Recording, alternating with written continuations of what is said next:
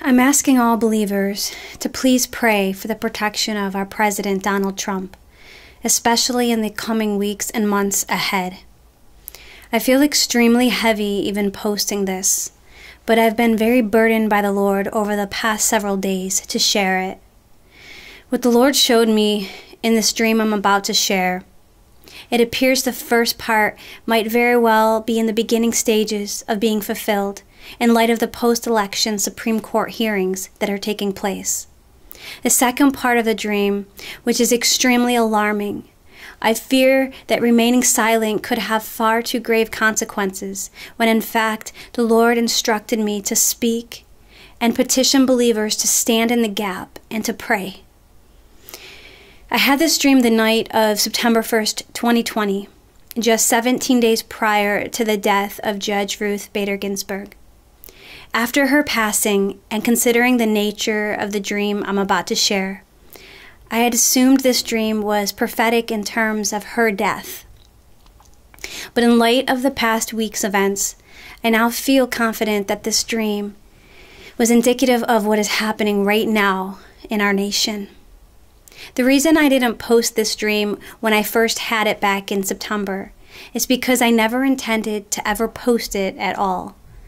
The Lord has given me many prophetic dreams throughout my life, but it wasn't until this year that the Lord began to command my spirit to speak. And while I delayed and struggled before the Lord with even sharing this word, I don't want any blood on my hands for lack of obedience to warn and to appeal to believers to pray. So I'm doing this solely out of an obedience to the Lord. That being said, I'm not sharing this with hopes of any interpretations to come my way. I'm solely appealing to you to please pray about what I'm about to share. So, this dream I had, again, is on the night of September 1st, 2020. In the dream, I was standing in a large courtroom. I was merely a bystander being shown what was taking place. Although I've never personally seen the inside of a Supreme Courtroom, I understood in the dream that this is where I was. It was extremely large and had several levels inside the room. There were not many witnesses in there. All in all, probably about 10 people were in the room. It was mainly prosecutors, defense, and a single judge. I began to look around the room and I quickly noticed that every single person in the courtroom appeared to be dead by what looked like an execution style point blank head wound. I then saw the judge hunched over in his seat with a docket and pen still in his hand. As I looked around the room in disbelief, suddenly everyone began to come back to life. I was in shock and confused but it was quickly spoken into my spirit that what I was witnessing was actually a reenactment similar to those that are done in revolutionary Civil War times, and that they were doing this reenactment to try and determine what had conspired. I didn't completely understand what they were trying to reenact, but the next thing I was shown was a television screen, and on it appeared Joe Biden. He began to speak and it seemed disingenuine as he was acting grieved over the recent news that President Donald Trump's life had been taken from him.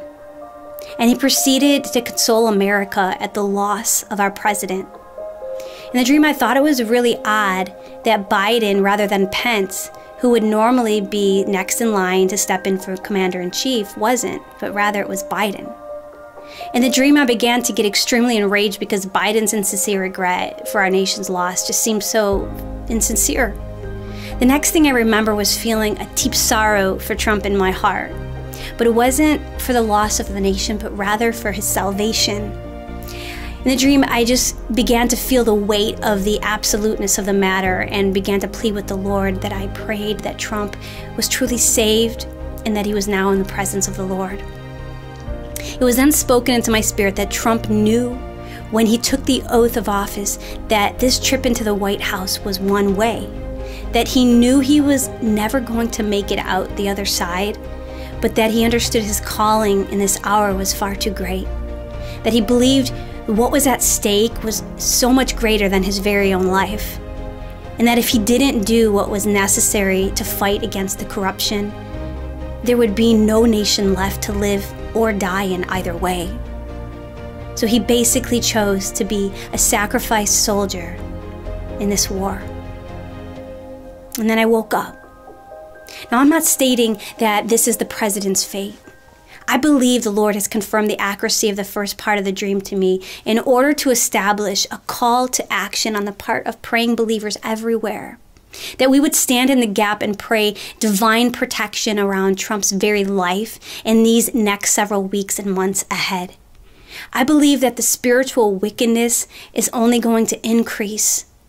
And as attempts to expose the lies increase in the next few weeks and months, so will the enemy's attacks.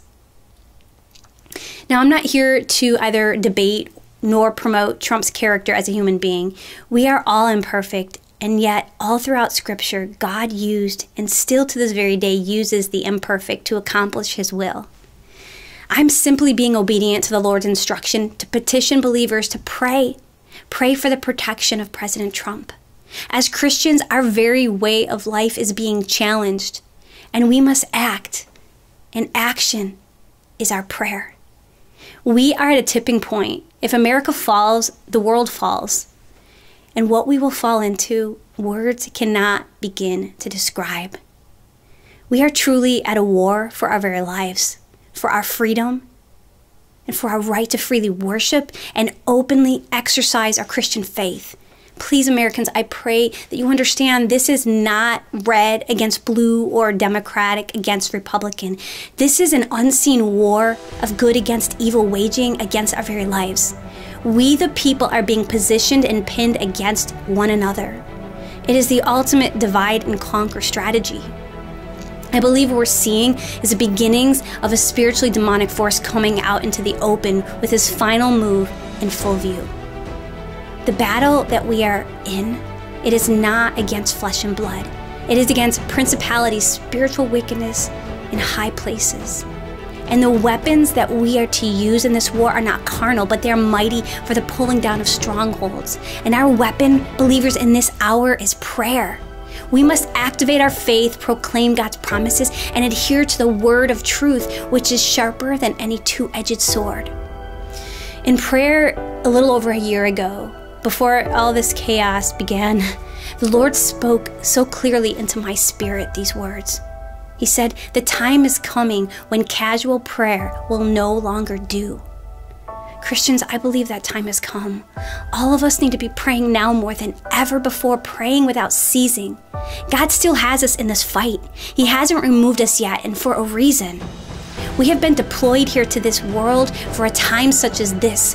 And while this world is not our home, we must complete our mission.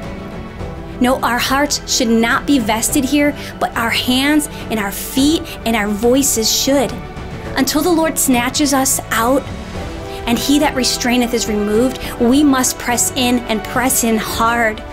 Now is not the time, Christians, to raise the white flag and surrender. Now is the time to fight for the truth to be heard, to stand up for what's right in the eyes of God, and to speak out against injustice, knowing this that now is the high time to awake out of sleep. For now our salvation is nearer than when we first believed. The night is far spent, the day is at hand. Therefore, let us cast off the works of darkness and let us put on the armor of light. God has blessed us with freedom in this nation. He has blessed us with liberty. He has blessed us with wisdom and godly discernment. And He has blessed us with a voice. Now is the time, like never before, to use it. And while the world may be falling into a deeper spiritual sleep, believers, we are not. We are awake and we are fully aware, and it is our duty as believers to stand in the gap for godliness and to wake and warn all those who will listen. As we see the day of the Lord approaching, rather than retreating, we should be pressing in with fervent prayer that God's will be accomplished because what the enemy means for evil, God will always turn around for good for those who trust Him. We might very well be in the last seconds before that midnight hour strikes and the church is raptured out. but we are expected to work equally as passionate and fervent in this, the last hour, as the very first believers worked in the days of Christ nearly 2,000 years ago. Believers don't lose hope. God is still on his throne, and none of this is catching him by surprise. We have one goal and one goal alone in this hour, and that's to lead as many as we can to the cross. For by no other way shall we enter in and out of this fallen world. How do we do this? We shine his light the enemy is no match against the explosive power and might of the Word of God. Use it, shine it, pray it into your individual lives, pray it into your communities, and as one voice looking up, pray it into our nation. Let us pray for one another. Let us pray for our lost family members that they come to know the Lord while there's still time. And let us join together and pray for President Donald Trump's protection as he begins to press back against the evil. Most importantly, let us pray, Lord, let your will be done above all. God bless you, and God bless the United States of America.